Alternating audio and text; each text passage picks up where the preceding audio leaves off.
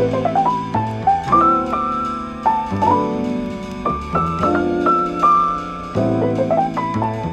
good everybody? Welcome back to my channel. If you're new, what it do? So today I want to discuss all things pertaining to becoming a flight attendant. Um, y'all go ahead and subscribe at the end of this video if y'all feeling the vibes. And yeah, let's get straight into it. So I want to split this video up into three parts. The first part will be the application process, then the interview, and then training. So let's start off with the application process. Um, the two questions that I get asked the absolute most. Number one, how do I become a flight attendant? And number two, do you have to attend a flight attendant school? Well, here's the answer to those two questions, okay? Okay? Number one you literally become a flight attendant by just going online and applying as with any other job.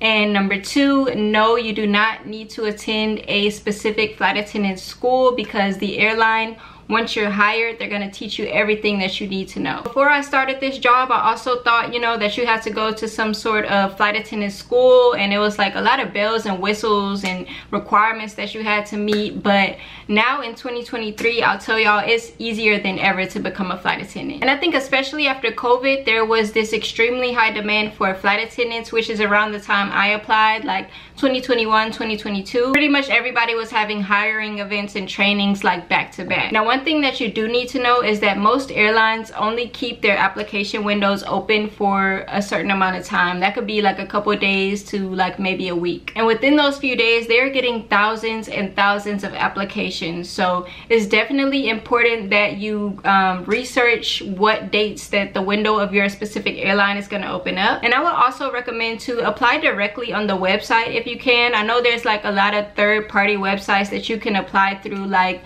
um, indeed and ziprecruiter and stuff like that. But if you can go directly to the website i would say do that. Also know that you may be required to complete one of those assessment quizzes so yeah just be prepared for that. All right so next i want to touch on some basic requirements to becoming a flight attendant. You must be at least 21 years of age because you're serving alcohol. Um, you need a high school diploma or a ged you need a passport or visa. Um, you do not need previous flight attendant experience you guys. I know a lot of people think that you do but really all they're looking for is customer service. They want to know have you dealt with people in the past? Because overall this job is very people oriented just a little on my employment history i've actually worked in customer service all my life.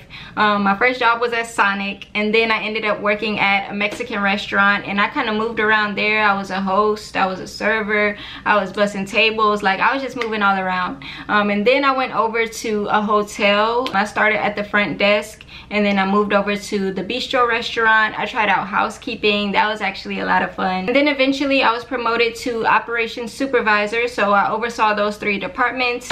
Um, and then yeah, I came to this job. So long story short, if you have any previous customer service experience, then you're already off to a great start. The only airlines that may require more than that is gonna be like the private and the charter airlines, you know, the ones that fly around some very prestigious people. All right, so now let's talk about some outward appearances. Um, you do have to be between 4'11 and 5 feet tall minimum just because you have to be able to reach the overhead bin. And I know you can't be taller than a certain height either. I think like maybe 6 three six four something like that. Um, just because i guess it'll be bad for your back. As far as weight i've gotten a few questions about that. Um, i've had some people message me like hey you know like i really want to become a flight attendant but i think i might be too big or like what is the weight requirement? You know how much do you have to weigh? Just know that this is not the 60s and 70s anymore or whenever they first start flying and you had to be this small like no it's literally not like that anymore.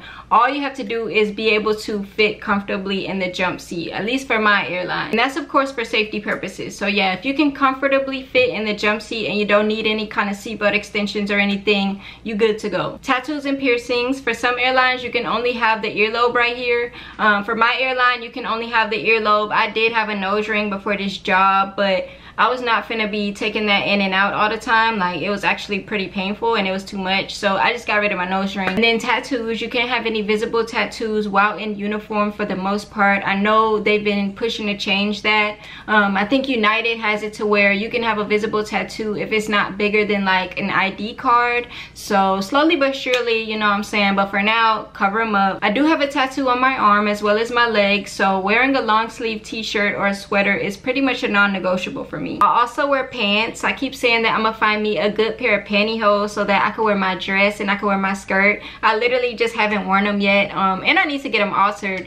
But yeah, I feel like the dress and the thigh-high boots combo in the winter, baby, 10 out of 10, y'all. So I gotta get me some pantyhose. But yeah, so the next thing is hair. Um, your hair cannot be longer than waist length. If it is, then you have to put it up. But it's really no more restrictions to how it's actually styled. So for all my black kings and queens, if y'all wanna wear y'all locks, y'all fros, twists, braids, all of that, you're safe here. Your nails have to be a sanitary length, you guys, not too long. Um, we actually, not long ago, we just got it to where we can wear unlimited nail art. So I know at first they said we could only do like solid colors, certain colors, and we can only have a design on one nail, but we just got it to where like it's up. We can do whatever we want basically. So that was really cool. Makeup is definitely in the lookbook, you guys. I would say at least wear it to the interview, at least. I know if I got a report time at 4.30 a.m., I'm gonna throw on some mascara, lip gloss, call it a day. But yeah, so for the most part, just look professional and clean and like the beauty that you are. All right, so more requirements. You have to be able to lift a 40 pound bag over your head and they'll show you how to do it. You also have to pass a drug test. Um, mine was on site at the interview.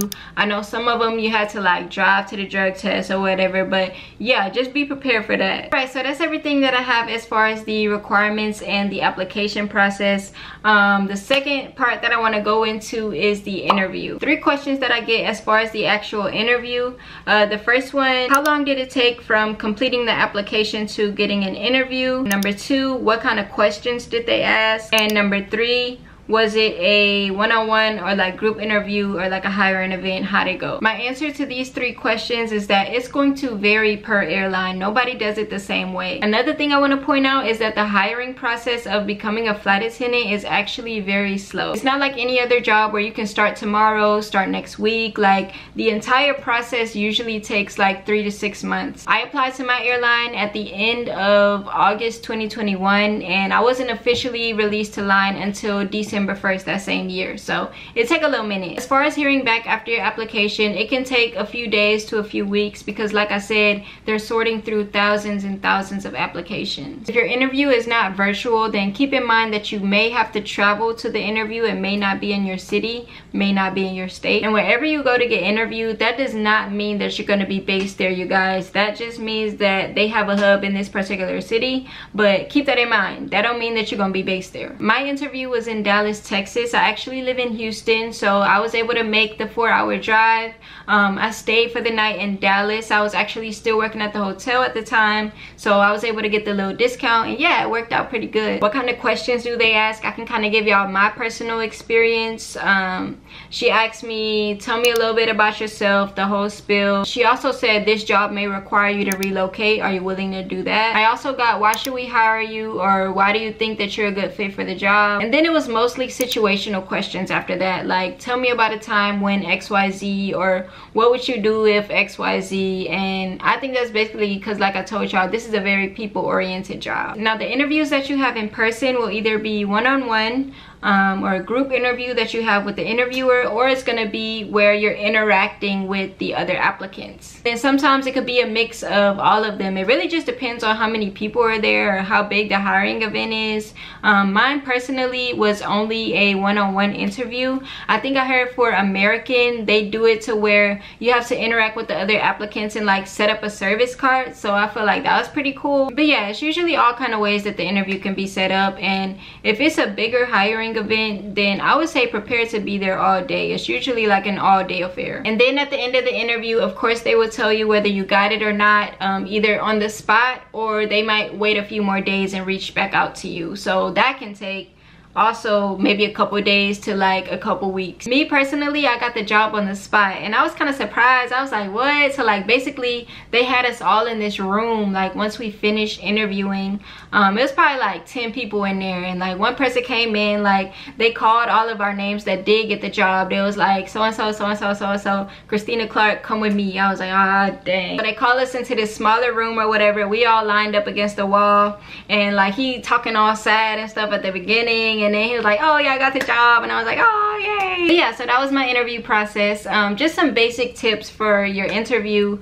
Um, look your best you know put on your best business attire and also try to relax and be yourself. I was like super nervous going in and then on top of that it was like I really wasn't, I basically went in on some, okay, let's see what this is about type deal. Like I wasn't super pressed on getting a job. I kind of was just like interested in the process and everything. I really just wanted to get a feel on the whole interview process because I had planned on going to a few others as well. But I'll share my whole how I became a flight attendant story at the end. All right, y'all, so the last topic that I'm covering on how to become a flight attendant is the actual training. So congratulations, if you made it this far, that means you got the job, but hold your horses because you're not a flight attendant just yet. The final stage of the final stage of becoming a flight attendant is going to be your training. Every single airline has their own training program. They have their own facility, so there is no need for you to go to a specific flight attendant school. If you want to go work for Delta, they gonna teach you on Delta. You want to go work for American, they gonna teach you on American. Only people that got to do all that extra school is pilots. Now the time between you actually getting your yes and your first day of training,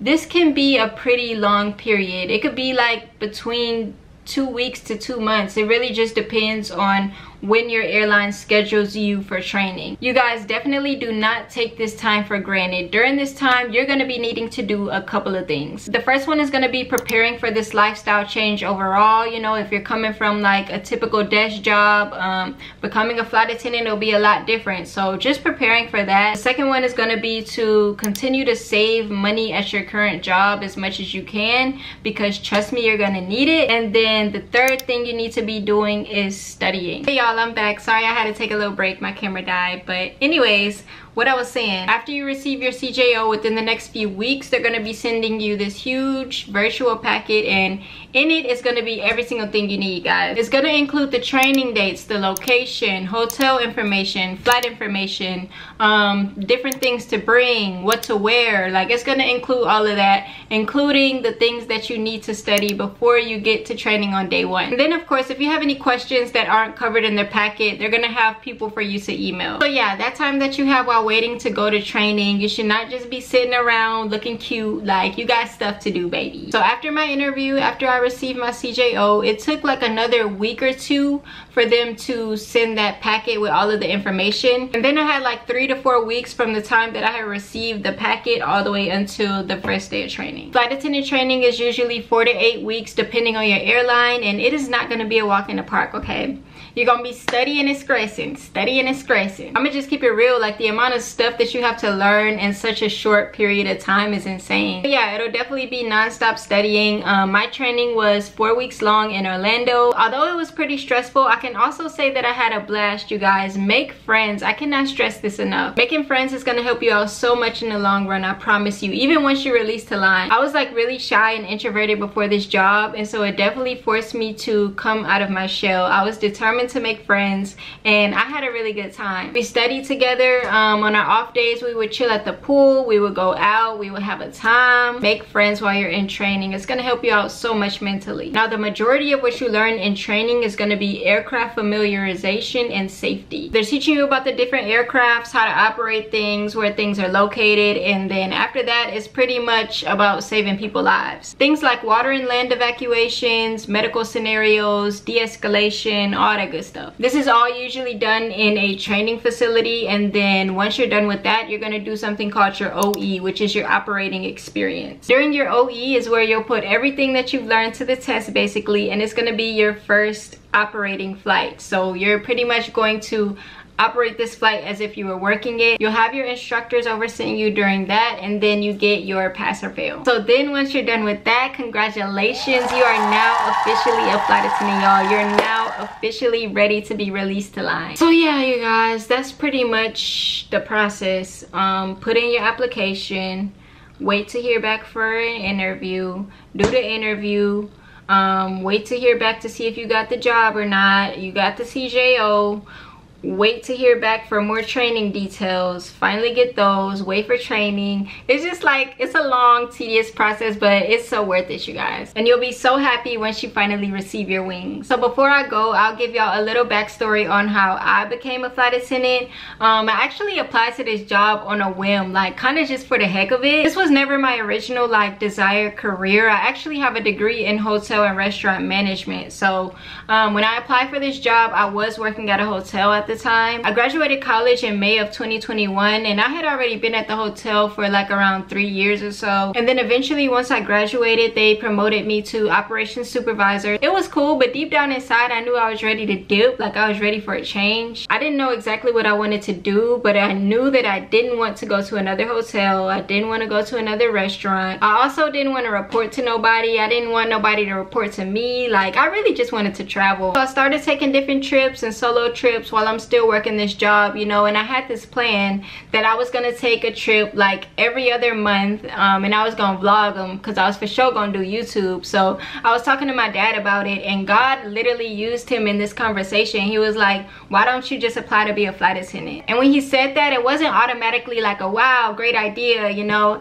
I just kind of thought like, okay, I know I want to travel. So technically this job would be the closest thing um, to me basically getting paid to travel. So I was like, let me look into it. So I started to check it out, started to do a lot of research. And the more I was researching, I was like, okay, maybe I could do this. So fast forward to the end of August, I applied to three different airlines. One was like an immediate no. One was like, give us a minute, we got a lot of applications. And then the one that was a yes is the one I'm here at now currently. And I had went to this interview just to kind of like get some insight on how the whole interview process worked. But I wasn't really like dead set on this airline or any airline at that. It wasn't until after I actually got the job that God confirmed to me like this is where I want you. This is where I've caused you to be. Okay y'all, I gotta hurry up because my camera keep dying. But yeah, anyways um just the way that things were happening in my life around this time i knew that this was god calling me into my next chapter um to grow and find my purpose. It was definitely scary at first. I felt a lot of emotions but after pretty much my first day of training is when i just had this feeling of i'm exactly where i need to be. So fast forward to now it's been a little bit over a year and a half with my airline. Um it'll be two years in december and i can genuinely say that i enjoy my job. You know god kind of blessed me with this job out of nowhere. Like